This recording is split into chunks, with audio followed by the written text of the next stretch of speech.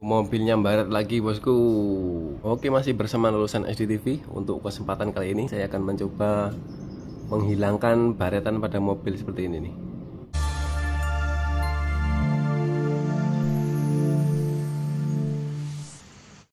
Bukan menghilangkan ya Tapi menyamarkan lah sedikit menyamarkan Kalau untuk menghilangkan sepertinya susah Karena ini bekasnya seperti udah ada baret-baret garis-garis gini ya kemungkinan ini udah agak dalam untuk garis-garisnya.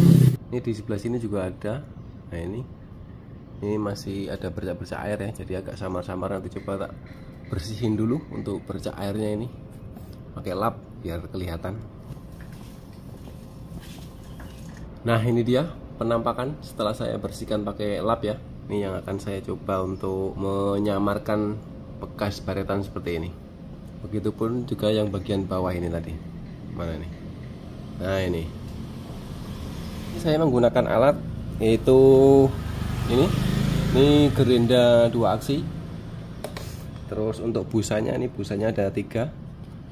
Ini udah sering dipakai jadi udah seperti ini udah kotor. Ini untuk yang paling bawah ini untuk yang kasar tengah agak halus. Yang hitam ini yang paling halus. Begitupun dengan kompon yang dipakai. Ini yang kasar. Ini yang agak halus terus nanti yang terakhir yang paling halus untuk mengkilatkan. Oke langsung saja. Kita mulai menggunakan yang paling kasar dulu.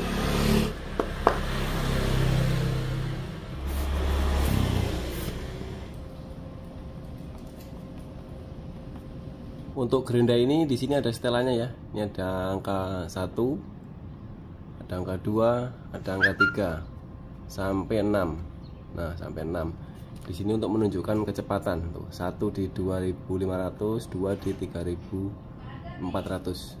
Oke, langsung kita mulai. Pertama kita gunakan speed 1 dulu.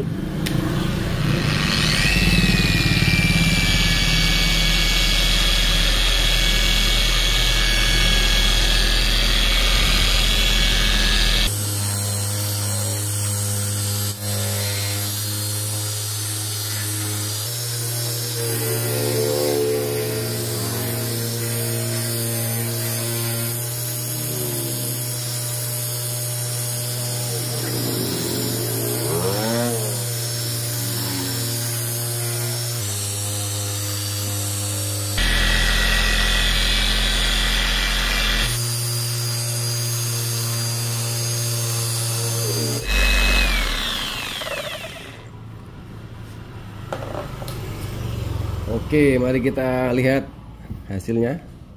Ini masih proses awal ya, proses pertama. Ini tadi videonya tak skip-skip karena terlalu lama. Tadi ada sekitar mungkin 15 sampai 20 menit. Jadi saya melakukan pemolesan seperti ini. Ada sekitar 6 sampai 7 kali. Sekarang kita lihat dulu hasilnya. Setelah saya lihat-lihat ini menemukan fakta ini. Ternyata ini pernah di cat ulang ya atau pernah ditimpa cat jadi kemungkinan ini pernah baret juga dulu cuman tidak didempul terlebih dahulu sebelum dicat jadi mungkin ini dulu ini pernah baret terus langsung ditimpa cat nih ini kelihatan ya garis-garisnya.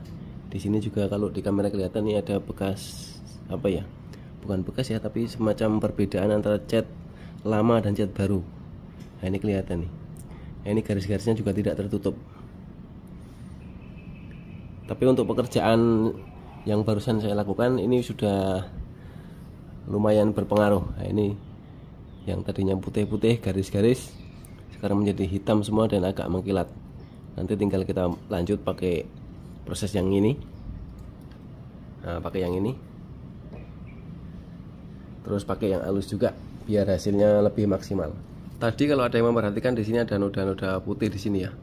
Ini untuk nodanya sudah hilang. Ini yang kelihatan seperti bercak-bercak ini pantulan dari tembok sebelah. Jadi cara ini bisa dilakukan pada mobil-mobil yang ini ya, hanya lecet-lecet ringan. Biasanya kan banyak tuh yang pojok-pojokan mobil itu lecet ringan, tidak penyok ya. Atau yang sudah bergaris seperti ini kalau udah catnya udah cacat bergaris itu susah untuk dihilangkan atau disamarkan. Jadi di sini saya menyamarkan aja ini. Sekalian latihan. Uh, hasilnya sudah cukup lumayan nih. Untuk tampilan secara kasat mata udah nggak kelihatan. Cuman kalau kita memperhatikan terlalu detail maka ini akan kelihatan. Bekas ini bekas garis-garis ini. Oke lanjut aja. Kita gunakan yang agak halus. Kemudian nanti yang terakhir yang paling halus ini saya ganti dulu pakai yang warna merah. Yang agak halus. Karena komponya juga beda. Nah ini pakai yang merah. Cara ini bisa dilakukan untuk kalian yang mengalami seperti ini ya baret-baret kecil. Bisa melakukan hal seperti ini di rumah daripada nanti ke ahlinya ke tukang poles atau apa mungkin biayanya agak mahal ya nah, ini bisa dikerjakan di rumah. Tapi ini cukup memakan waktu ya? Karena sekali moles ini bisa berjam-jam untuk hasil yang maksimal. Dengan catatan yaitu bukan penyok atau catnya yang udah parah. Oke langsung kita gunakan step satu dulu untuk meratakan komponen dulu. Jika rata seperti ini tambah ke step 2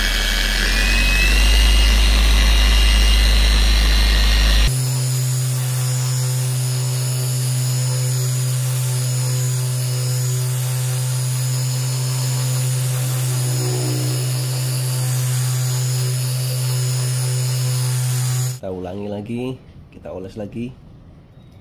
Ini yang kompon yang nomor 2 ya. Nomor satu tadi udah ini yang nomor 2 ini bisa dilakukan cara ini jika kalian ingin menghemat biaya. Kalau ke tukang poles atau detailing ini akan lebih mahal. Tentunya karena pengerjaannya sangat lama ya dan perlu ketelitian. Itu yang bikin mahal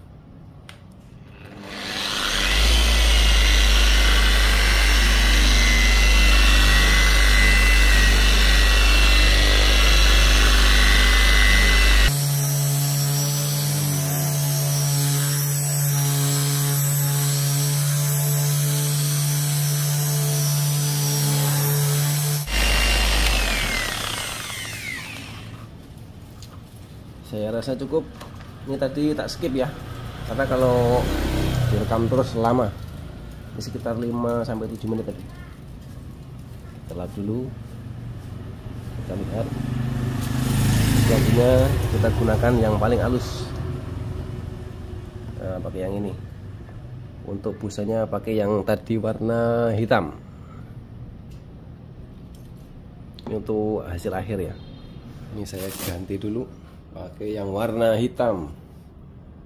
Warna hitam ini lebih halus dia. Teksturnya lebih lembut. Nah itu. Untuk caranya sendiri ini juga lebih lembut lebih halus. Oh. kasar cuman tidak terlalu kasar. Ini untuk finishing dan mengkilatkan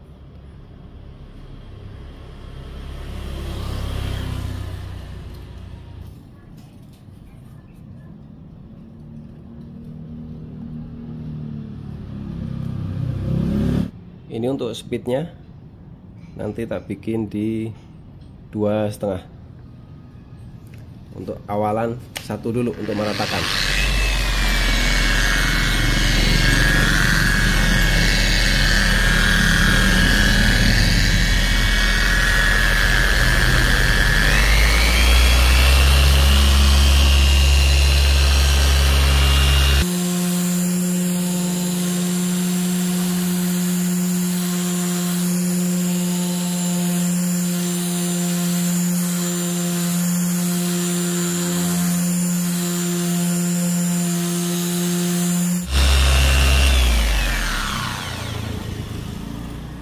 Oke saya rasa cukup. Lalu kita lap Menggunakan lap microfiber. Nanti kita lihat hasilnya. Ini hanya untuk menyamarkan ya. Menyamarkan Bekas-bekas luka pada kendaraan. Di sini saya bukan ahlinya jadi ini termasuk belajar tapi kalau ada yang mau menirunya juga boleh-boleh saja. Tapi untuk alatnya sendiri gerinda yang dua aksi ini yang ini ini harganya lumayan ya. Mungkin sekitar 2 sampai 3 juta untuk harganya sendiri. Bisa dibeli di toko-toko online banyak. Nah ini untuk hasilnya. Ini udah sangat-sangat samar sekali untuk garis-garis tadi ya. Sama noda tadi yang kelihatan bekas goresan udah hilang. Di sini kalau yang di sini tadi ada dua dan sini ini udah hilang semua. Kalau ini masih ada kalau kita perhatikan ya secara detail ini masih ada garis-garis gini. Hmm, tapi untuk kasat mata kalau kita hanya melihat dari bagian-bagian apa ya tidak terlalu detail gitu ya maksudnya ya tidak terlalu memperhatikan ini udah lolos lah. Uh, mantap. Uh, skin celong lagi. Nah ini jika dilihat dari kejauhan nih oh. gak kelihatan tuh. Mantap sekali. Tapi kalau kita perhatikan dengan seksama baru kelihatan. Mantap. Lumayan bisa sebagai solusi ya. Oh, rahasianya. Gereja dua aksi. Sebenarnya pakai tangan bisa ya cuman agak gel agak lama. Kalau pakai alat kan kita tinggal ya memainkan saja lah catat, catatan juga pada saat penggunaan gerinda ini tidak boleh terlalu ditekan. Jadi cuman ya kita ikuti aja lah iramanya gimana. Untuk kompon-komponnya ini dijual di toko online juga banyak. Jadi kalau anda punya keluhan seperti saya ini kendaraannya lecet-lecet halus yang penting tidak banyak ya atau catnya ini tidak luka tergores terlalu dalam masih bisa menggunakan cara seperti yang saya terapkan di mobil ini uh mantap. Terima kasih. Semoga bermanfaat. Jangan lupa support lulusan SCTV dengan cara jauhin narkoba jangan mabuk-mabukan dan makan makanan yang bergizi. Terima kasih